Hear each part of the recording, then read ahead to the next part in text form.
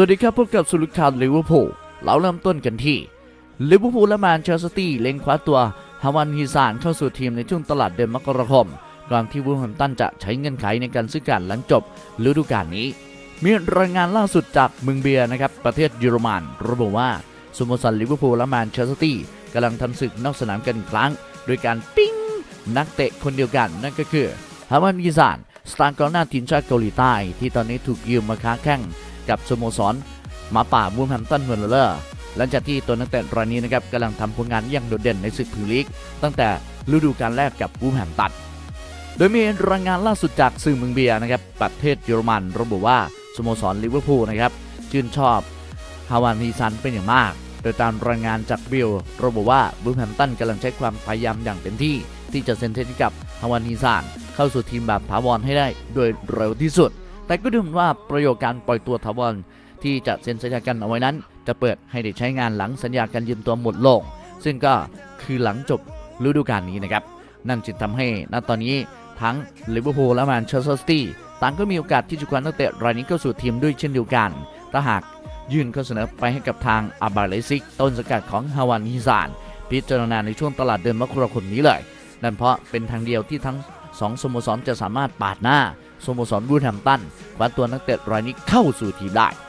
โดยกองหน้าชาวเกาหลีใต้ในวัย 25 ปีรายนี้นะครับกลายเป็นเป้าหมายหลักของลิเวอร์พูลในทันที หลังจากยิงไปถึง 4 ประตูจาก 6 นัด ที่ลงสนามให้กับวูล์ฟแฮมป์ตันในศึกพรีเมียร์ลีกก่อนที่ฟอร์มของเขาจะดรอปลงบ่ายเพราะมีอาการบาดเจ็บรบกวนฉะนั้นทำให้ตอนนี้ทางสโมสรวูล์ฟต้องการเซ็นสัญญากับนักเตะรายนี้เข้าสู่ทีมแบบถาวรด้วยเงื่อนไขการซื้อขาดที่ราคา 16.5 ล้านยูโร หรือ 14 ล้านปอนด์หลังจบฤดูกาลนี้โดยด้านสื่อซันเดย์มิร์เรอร์นะครับก็ได้ออกมาตีข่าวเรื่องนี้เช่นเดียวกันว่าเจเกนคลับและเป๊ปกูเดล่าต่างกำลังเฝ้าจับตาดูสถานการณ์ของนักเตะรายนี้อย่างใกล้ชิด และพร้อมที่จะยื่นข้อเสนอจำนวน 14 ล้านปอนด์เท่ากับเงื่อนไขการปล่อยตัวที่ทำเอาไว้กับวูล์ฟแฮมป์ตัน เพื่อคว้าตัวฮวังฮีชานเข้าสู่ทีมในช่วงตลาดเดือนมกราคมนี้เลย และตอนนี้ทั้งสองทีมก็กำลังทำการเจรจา เรื่องยื่นข้อเสนอจำนวนดังกล่าวนี้ให้กับทางแอร์เบไลป์ซิก ต้นสังกัดของฮวังฮีชาน และคาดการณ์ว่าดีลนี้น่าจะมีความชัดเจนในเร็วๆนี้นะครับว่าทั้งสองสโมสรอย่างลิเวอร์พูลและแมนเชสเตอร์ซิตี้ใครจะได้ตัวนักเตะรายนี้ไปครอบครองบราซิลเรียกตัวอลิสซงเบ็คเกอร์และฟาบินโญ่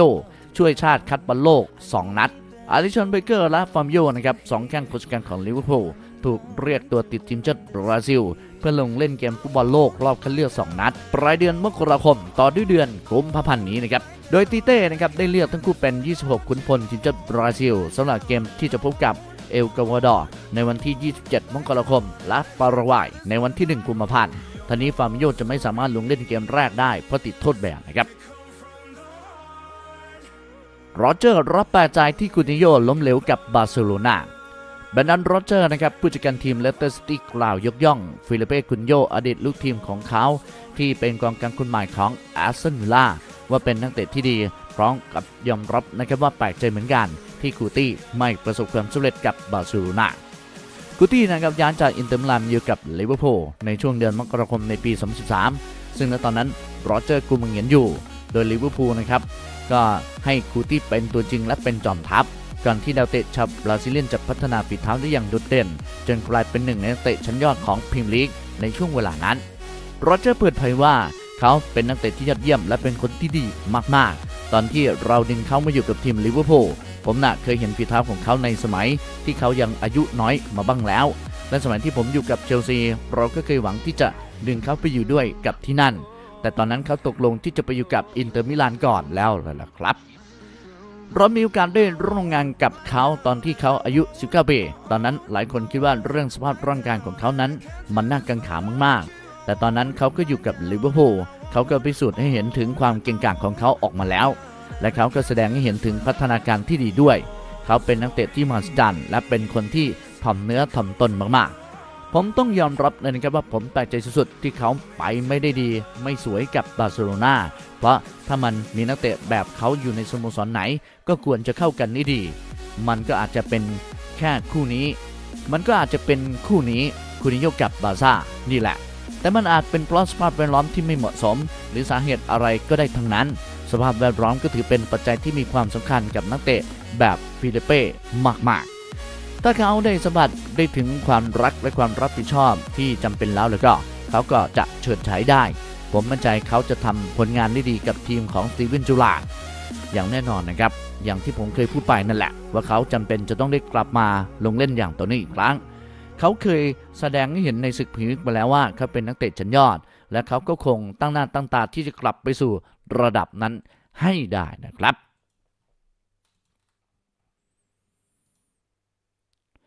ลิเวอร์พูลเล็งคว้าจาร์ร็อดโบเวนเพื่อยกระดับเกมรุกริมเส้น หงส์แดงล็อกเป้าฟุตบอลอินไซเดอร์รายงานมาว่าทีมหงแดงลิเวอร์พูลจากศึกพรีเมียร์ลีกอังกฤษกำลังให้ความสนใจที่จะคว้าตัวจาร์ร็อด โบเวนของเวสต์แฮมยูไนเต็ดรายงานระบุว่าลิเวอร์พูลนะครับยังคงต้องการยกระดับเกมรุกของพวกเขา โดยเฉพาะในส่วนทางด้านข้าง โดยกำลังให้ความสนใจคว้าตัวจารดโบเวนปีกของเวสต์แฮมยูไนเต็ดเข้ามาเสริมความแข็งแกร่ง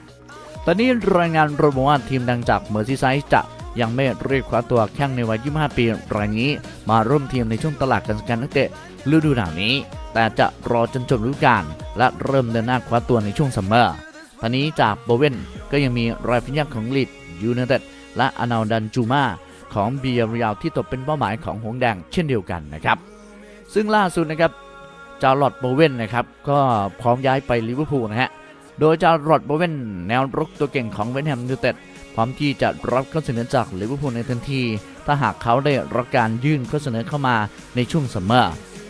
โดยปีกชาวอังกฤษในวัย 25 ปีนะครับเชื่อว่าการได้ย้ายไปเล่นกับทีมอย่างลิเวอร์พูลนั้น ถือว่าเป็นเกียรติประวัติในการเป็นนักฟุตบอลอาชีพของเขาเลยอย่างมาก และเขาเองก็ต้องการยกระดับตัวเขาเอง ภายใต้การร่วมงานกับทางเจอร์เก้นคล็อปป์ ผู้จัดการทีมหงแดงลิเวอร์พูลด้วย ที่มาก็คือ